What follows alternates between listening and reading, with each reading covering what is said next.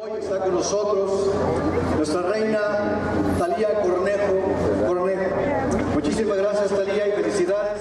Talía Cornejo, de 25 años, quien se coronó como reina de belleza de la Candelaria en las fiestas patronales de Salvatierra en 2017, es una de las víctimas de la masacre en Salvatierra, Guanajuato. Durante una posada en la ex hacienda de San José del Carmen, fueron asesinadas 11 personas por un grupo armado, mientras que otras 14 resultaron heridas, según la Fiscalía General del Estado. Las autoridades explicaron en un comunicado que el ataque ocurrido la madrugada del domingo 27 de diciembre, los agresores también provocaron daños por incendio a diversos vehículos de motor que se encontraban estacionados en el lugar. En redes sociales circulan videos del momento en que Talía Cornejo ganó el concurso de belleza. El presidente municipal y la presidenta del DIF fueron quienes coronaron a Cornejo, quien vestía de blanco el día de su coronación junto a Lisbeth Solache, una de las princesas del evento, el 31 de enero de 2017. Talía Cornejo viajó a Querétaro para estudiar psicología, pero regresó a Salvatierra para las fiestas decembrinas con sus amigos. La joven es hermana de Juan Manuel Cornejo, quien trabaja en TUDN Televisa. Dicha empresa lamentó el fallecimiento de Talía. La familia de TUDN lamenta el sensible fallecimiento de Talía Cornejo, hermana de nuestro compañero y amigo Juan Manuel Cornejo. Nuestras oraciones y corazones se encuentran unidos esperando la pronta resignación de familiares y amigos, señaló.